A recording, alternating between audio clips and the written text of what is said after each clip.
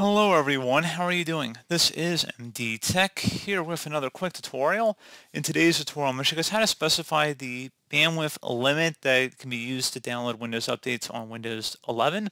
So if you're using a metered connection and you have a limited network connectivity, I'm going to show you guys how to limit how much bandwidth can be used at any given time in the background.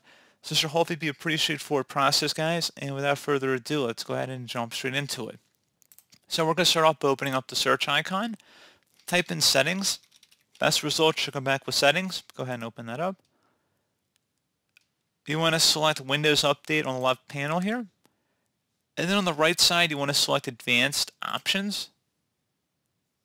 Scroll down and select Delivery Optimization. And now you want to select, if you scroll down here again, select Advanced Options once more. And then underneath absolute bandwidth, limit how much bandwidth is used for downloading updates. You can specify how much bandwidth is used for downloading updates in the background, as well as how much is used for downloading updates in the foreground. So whether it's open in an active window or if everything's closed out, and that's what the, the first setting is for, and the second setting is if you actually have Windows Update open on your screen. So pretty straightforward. You can also set percentage. Instead of doing an actual fixed amount, you could go based on a percentage measured against how much is currently being used. So definitely, you know, it gives you options here, but generally speaking, shouldn't be too hard here to figure out. Pretty self-explanatory.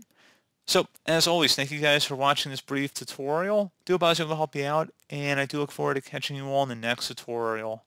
Goodbye.